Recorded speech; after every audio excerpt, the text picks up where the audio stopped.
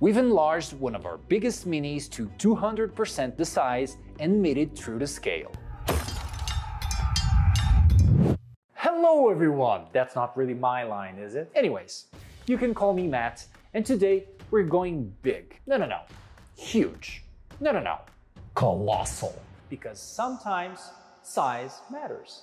Meet Gul'Trot de Fortoise. But this, although quite big, isn't really colossal, is it? Well, we thought so too, so we decided to double the size. This mini is part of the Crusade of Darkness bundle, released last December, and was provided in three scales.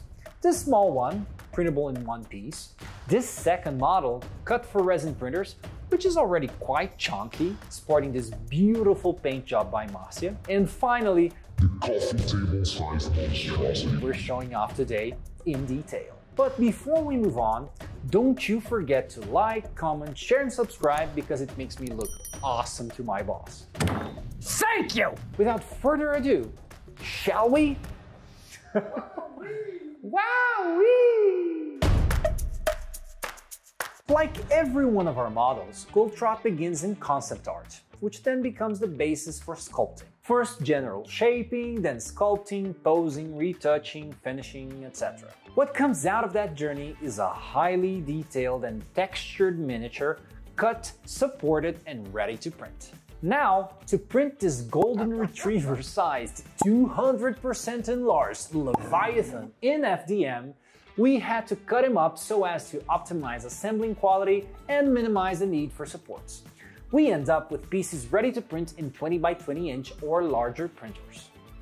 For faster printing times, we set the printer up with a 0.4mm nozzle, 0.32mm thickest layer, two walls, and minimum possible infill. That led us to great printing times and the quality was still pretty good.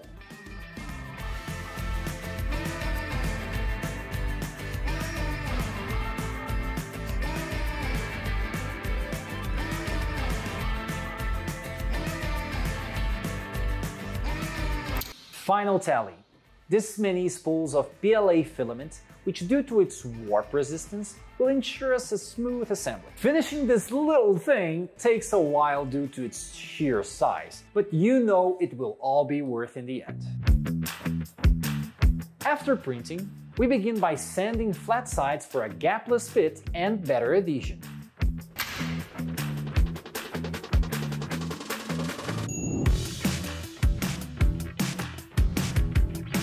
If you ever run out of friends as you disappear months at a time to work on a massive project, get an orbital sander. It will be your new BFF.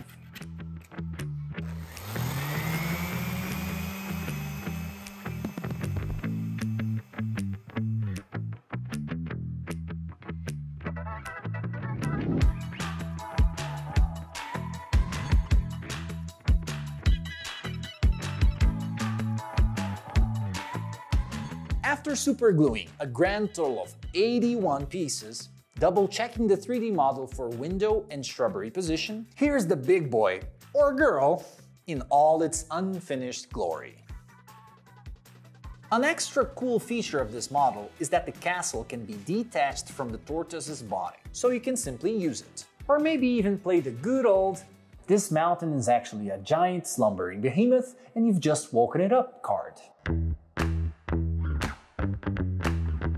Did I say an orbital sander was your best friend? Nah, a rotary grinder is your best, best friend. Trust me.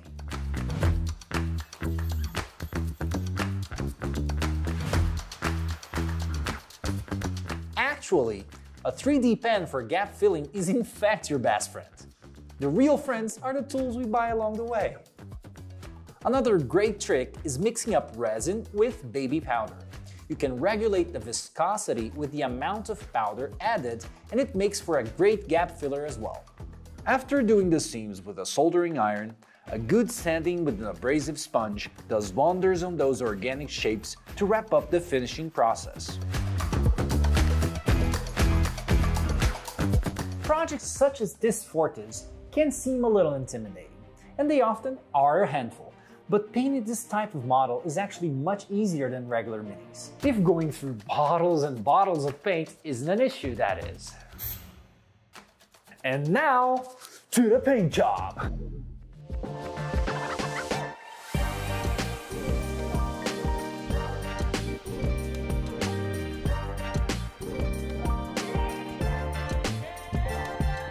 First, we prime. Be it paintbrush, airbrush, or spray can, just make sure it gets in every nook and cranny.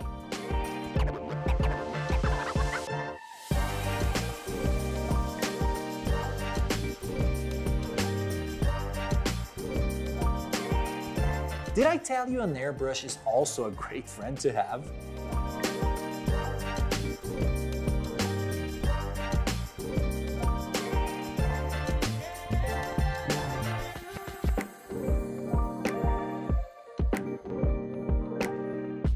To add texture and contrast, dry brushing is surely the way to go.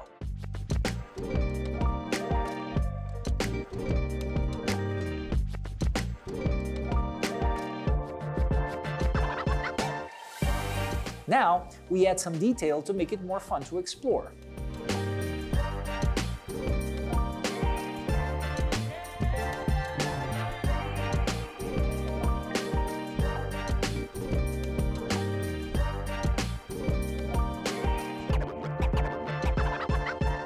And call it done. Finally, it's playtime! it's playtime! Uno, two, tres,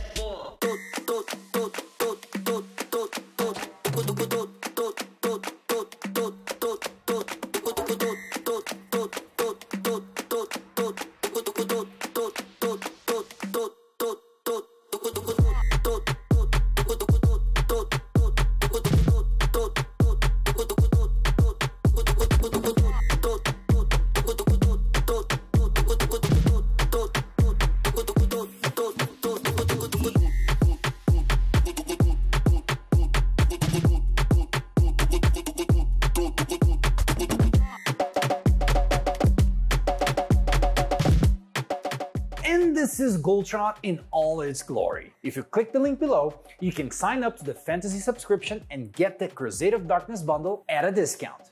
That's it for today, guys. Don't forget to like and subscribe and tell us in the comments what sort of big projects you would like to see us do. We love doing crazy and big stuff like this, so dare us to do it. Dare us.